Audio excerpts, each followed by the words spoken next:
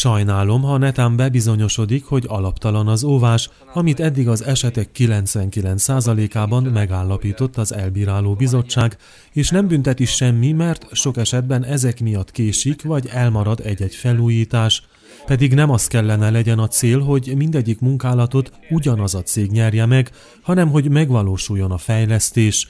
Gazdasági, turisztikai és társadalmi szempontból is lényeges a szomszédos megyékkel összekötő utak korszerűsítése, ezért továbbra is törekednünk kell a megyehatár két oldalán lévő falvak összekapcsolására, az összekötő utak járhatóvá tételére, fogalmazott Borboly Csaba Hargita megye tanácsának elnöke az eredmény kapcsán.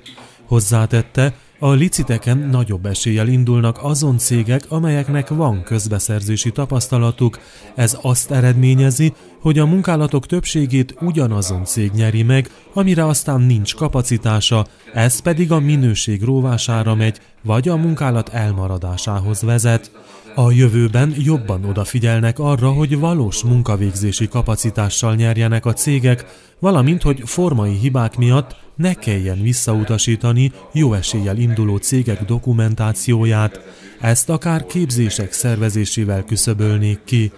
A 136A útszakasz elsősorban az esőzések következtében rongálódott meg, mivel az ilyenkor felgyűlő csapadék elszállítása egyelőre nincs megoldva, mert a sáncok vagy hiányoznak, vagy a vízhordalék lerakódása miatt felteltek. Az útszakaszon található átereszek is megrongálódtak, a kivitelezés során ezek is felújításra vagy kicserélésre szorulnak. Az elmúlt időszakban csak karbantartási munkálatokat végeztek, ez is indokolja a felújítás sürgősségét. A munkálatok becsült értéke több mint 6 millió lej.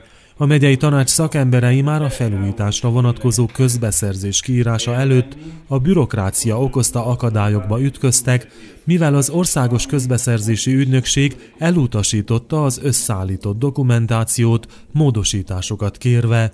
Továbbá hónapokig kellett várni a majdani aszfalton zajló autós forgalom környezetvédelmi engedélyezésére, holott eddig is jártak ott autók, most pedig a cégek óvása miatt késik a munkálatok indítása, ezért kérdésessé vált, hogy idén sikerül-e elkezdeni a felújítást.